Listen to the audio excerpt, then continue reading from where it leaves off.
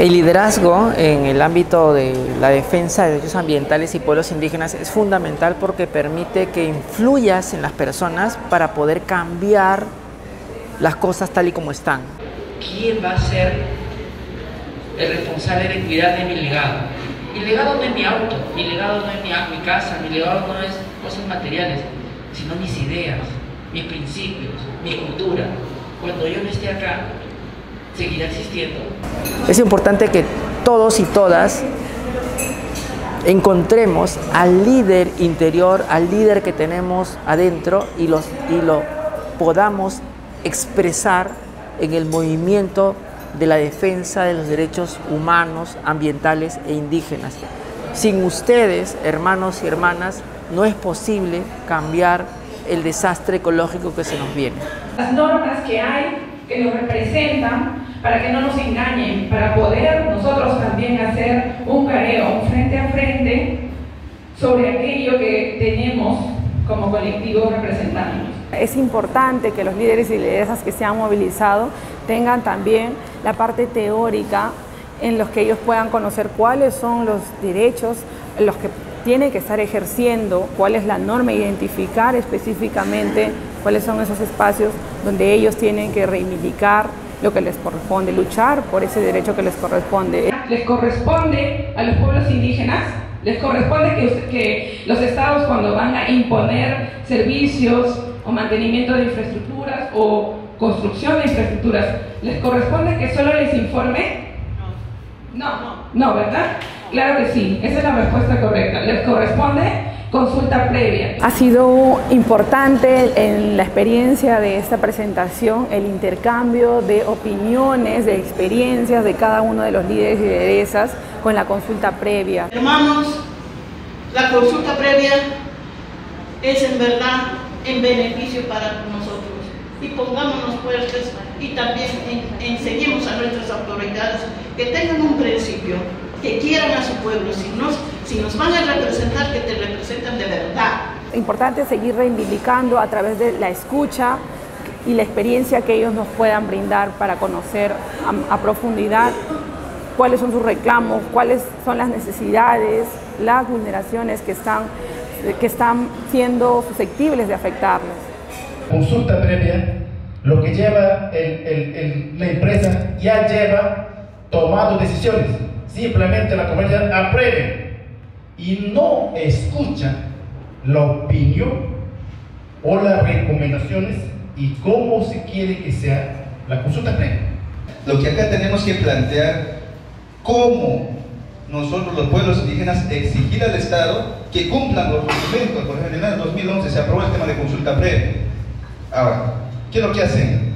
Ahora, quien consulta es la empresa, no el Estado porque está viendo eh, varias, eh, varias ampliaciones que van a hacer dentro de la Amazonía, por ejemplo, hidrovía, por ejemplo, el tema hidrocarburo, tema minero, o sea, que hay muchos problemas que va a haber, o sea, que yo he visto, porque yo he palpado en mi región Cusco, de que la empresa solamente hace, digamos, el Estado mismo hace una audiencia, digamos, en una comunidad. Ya con esa, con esa firma lo dicen que ya se aprobó, ya se ha consultado. Entonces, hay muchos mecanismos que eso se debería plantear, por eso, si bien es cierto existe en el tema de consulta, ¿cómo el Estado va a implementar? ¿Quién lo va a implementar? ¿Nosotros o el Estado? Por eso quería preguntar. que al final ustedes mismos logran responderse, ¿no? La consulta previa es muy... Entonces, ¿quién debe realizar la consulta previa? El Estado, que nadie les engañe. Puede, podrá participar la empresa ahí para absorber dudas de repente de qué tratando el proyecto, de qué corresponde el proyecto. Pero quien hace la consulta previa es el Estado, porque el Estado es el que emite esa resolución adjudicando la extracción de extractivos de petróleo en esta zona. Una recomendación que yo le puedo dar a cada uno de los dirigentes, dirigentas que están el día de hoy acompañándonos, que persistan en su lucha en reivindicar su derecho, a pesar de que muchas veces el Estado puede darnos la espalda, a pesar de que muchas veces no sabemos a qué, a qué puerta tocar, hay que hacerlo, hay que hacernos escuchar. No puedo ser un líder manteniéndome tímido, manteniendo, callando lo que mi pueblo me ha encomendado transmitir.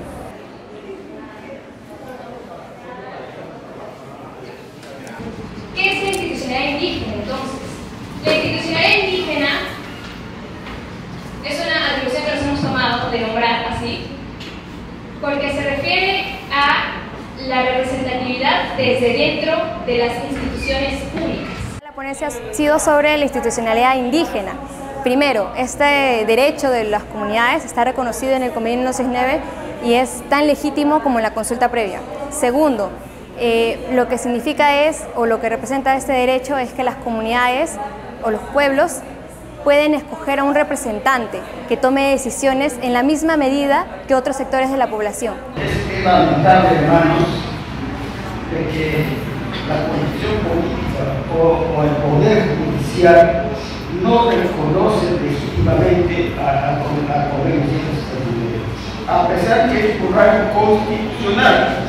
Lo tercero sería que tenemos que impulsar, impulsar justamente ese reconocimiento. Si bien podemos contar con eh, la buena fe de algunas autoridades que nombran a compañeros, hermanos originarios en estos cargos de decisión, lamentablemente al ser cargos de nombramiento están supeditados a la voluntad de quien los ha nombrado.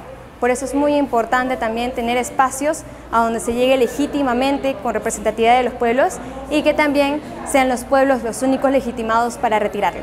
Y mañana más tarde, algún día a largo plazo o mediano plazo, que los dirigentes, los líderes, este, lideresas indígenas también estén a altura de los funcionarios del Estado para debatir y reclamar sus derechos. Creo que la última frontera de resistencia de un pueblo es la mente. Si todos estamos queriendo dinero así sea de la peor manera, sin escrúpulos, como funciona el sistema, el sistema es evidentemente destructivo. Cuando cuidemos nuestro pensamiento, eh, valoremos nuestras herencias, no solo vamos a proteger nuestros territorios, sino vamos a poder darle al mundo un modelo de vida que no destruye, que hoy urge para todos.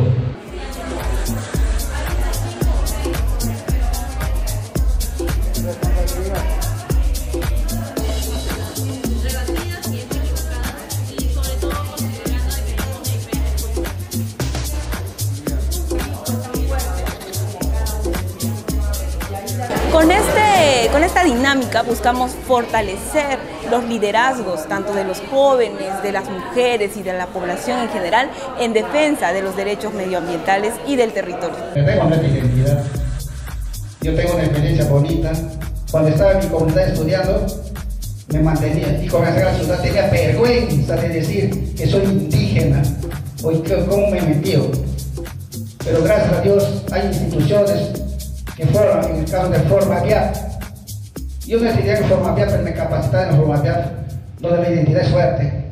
Ahí vengo a recuperar mi identidad. Que si yo soy Dino Curitima Calitimare, un Cucama Cucamilia, cholo, nativo, indígena. La defensa de los derechos colectivos. ¿Y qué son nuestros derechos colectivos? Son los derechos que detentamos como representantes de nuestros pueblos, los derechos que tenemos en conjunto como pueblo.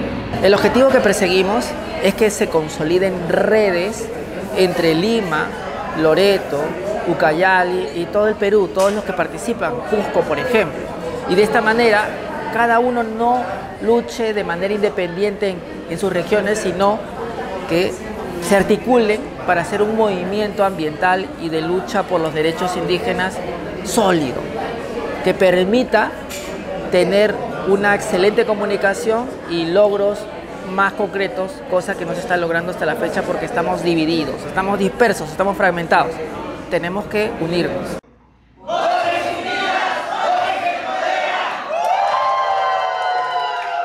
Eh, compromiso para mí desde la Confederación Nacional Agraria sería pues seguir trabajando articuladamente más que nada con el tema de la mujer indígena. Mayormente nuestras hermanas mujeres es lo, es lo que cuida las semillas nativas incluso en el pueblo indígena está nuestras sabias, nuestros sabios.